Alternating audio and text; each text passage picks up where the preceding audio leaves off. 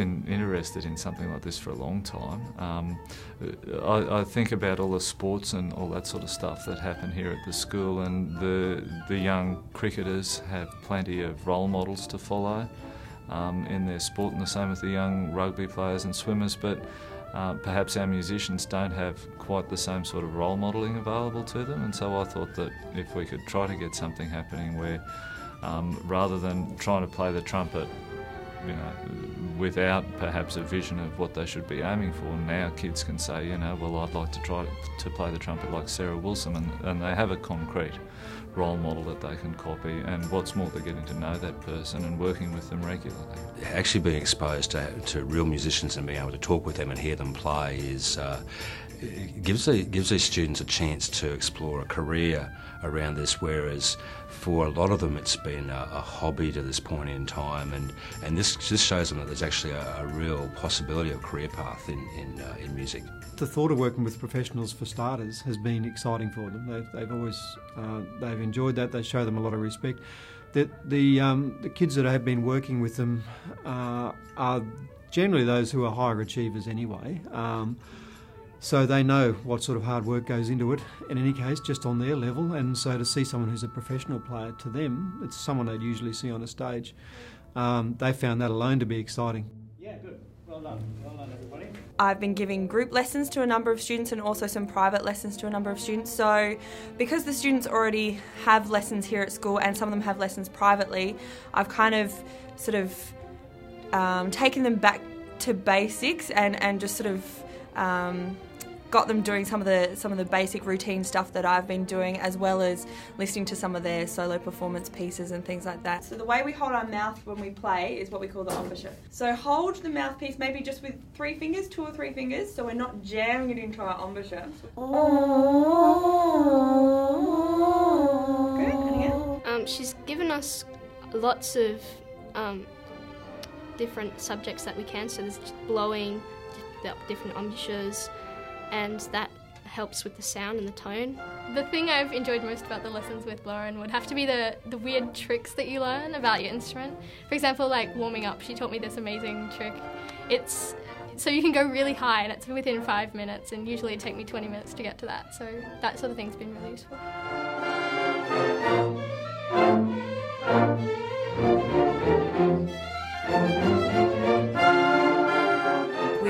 Doing a lot of work on basics, um, which I thought that they might be kind of a bit bored with. But actually, it's been good because there have been some fundamental things that we were able to really get into. So we've done things, simple things like breathing exercises, and it sounds silly, but quite often we don't have actual exercises to practice breathing, and it's quite important for a wind instrument to, to be able to breathe well. So we've been doing some of those and working on um, sound simple things like making, you know, how do we make a good sound? One, two, three, four.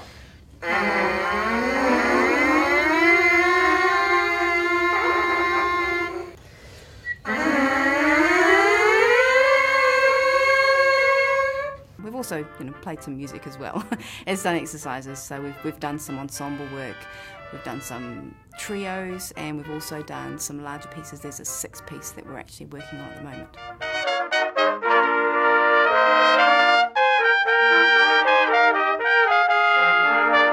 The best thing about having lessons with someone from QSO, it's really great to um, get their perspective on how to like approach um, playing the instrument, like practicing the instrument and things like that, and technique. It, that's been really good. The thing I like most about working with Sarah is she um, gives you um, ex exercises that improve for trumpet players range and um, just being able to get around your instrument a lot.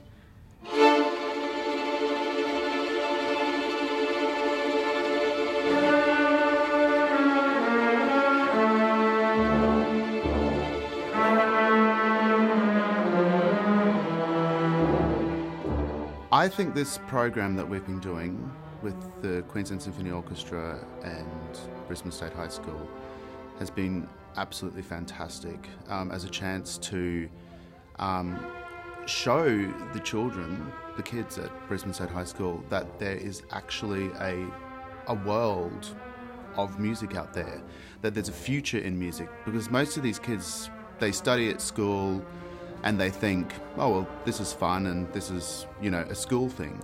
But I think with us coming into the school, we've actually given them uh, the chance to actually see that this can actually be a job and this can be has a future outside of school. So when you go up, try to use more air. So rather than So use more air when you go forward.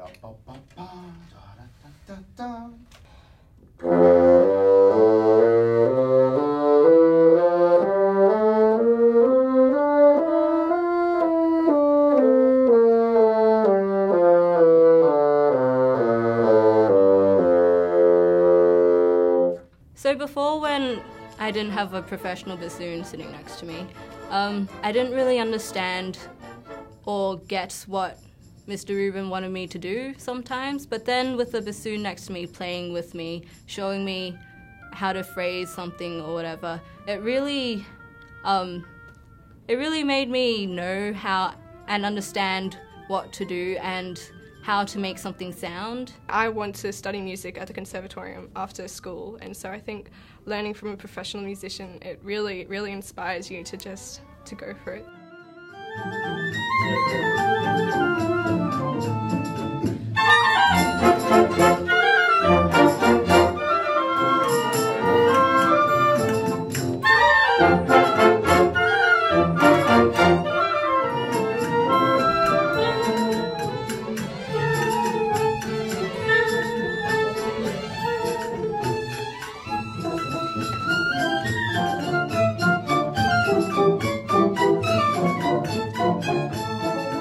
Once this knowledge is within the school, somehow the kids manage to pass it from one to another as well.